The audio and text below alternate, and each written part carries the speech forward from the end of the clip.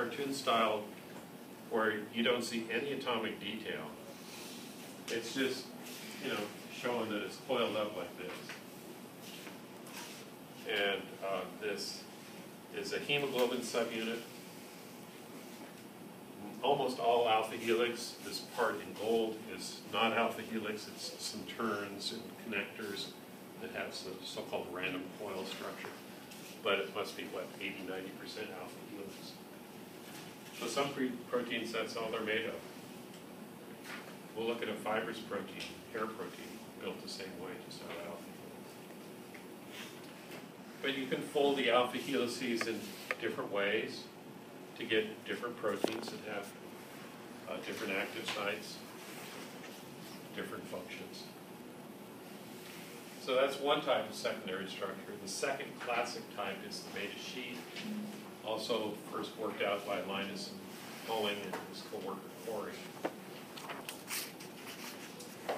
Here there's no coiling. It's as if you take this strand and you pull it out, stretch it out as much as possible. So it's just extended straight strands that hydrogen bond to each other. So we talked about the straight parts being strands, and you bring two of them side by side, they can kind of dock in parallel to make sheets. You build sheets by bringing in strands like that, one that other. Sometimes called beta pleated sheet because uh, the tetrahedral carbon makes it pop up and down in these strands. So here's one of these amino acid polypeptide chains, all stretched out instead of being coiled. We've we pulled it apart, and that's as straight as it gets.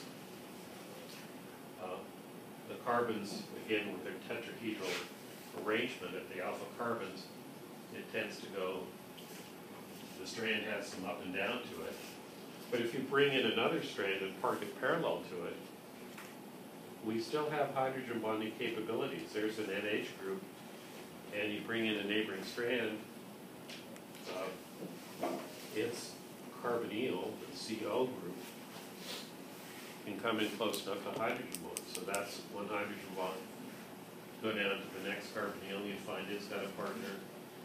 The NHs in the strand, you find partners there.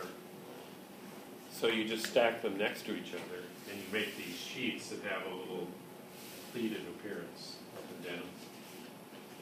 And the R groups stick up above and below the plane. That's what these gold things represent. Those are those are stand-ins for the R groups. They're either above the sheet or below the sheet. And the sheet can be as little as two chains parked next to each other, or you could have, in theory, any number of strands parked next to each other. It could be as wide as you want. So you get structures like this. Strand, strand. This green one makes one beta sheet, and sometimes the beta sheets stack on top of each other. This is how uh, silk is made. Silk is a protein, and it's made almost entirely out of beta sheet structure. Hydrogen bonds between the strands here make a sheet, and then one sheet stacked on top of the next sheet.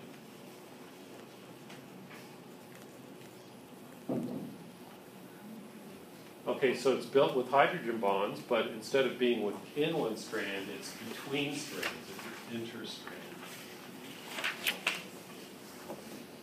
You can take the, the strands and run them parallel or antiparallel.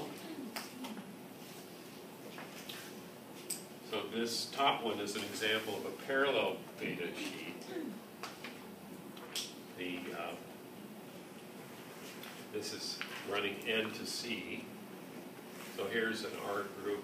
Uh, excuse me. Here's a. I'm not seeing the R group. The amino, carboxyl.